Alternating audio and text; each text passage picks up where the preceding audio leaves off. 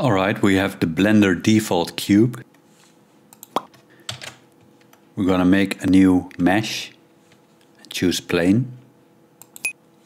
We're going to add a, a solidify modifier. Then we go to the shading tab, create a new material, add image texture, and I chose for a cardboard texture.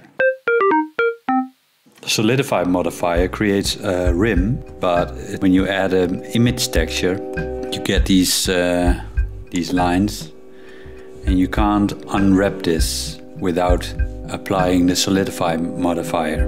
What you can do is add another node, an input node, texture coordinate, and then connect the object to the vector.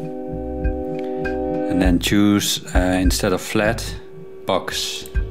Alright, fixed it. I can show you what happens when you choose a brick texture, you get a wall. And then when you change the thickness, you can create a wall without losing the brick texture. But we don't want to create a building, we want to create cardboard. And the side of a cardboard doesn't look like this. It looks a bit different. We need to create another material. This is the side of the cardboard. We don't see anything happening yet. Because we go to the modifier and in the materials tab we choose rim and select one.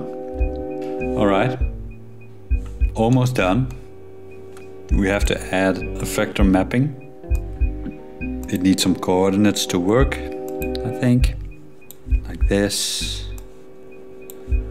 And connect the object and then scale the z axis doesn't work. No we have to add we have to put this on box.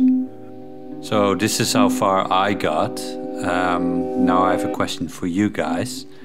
Um, if I make a loop cut in the plane and I would bend it then you can see that the sides do not follow the shape so if any of you would like to put the answer in the comment section that would be really great. Um, I would really like to know.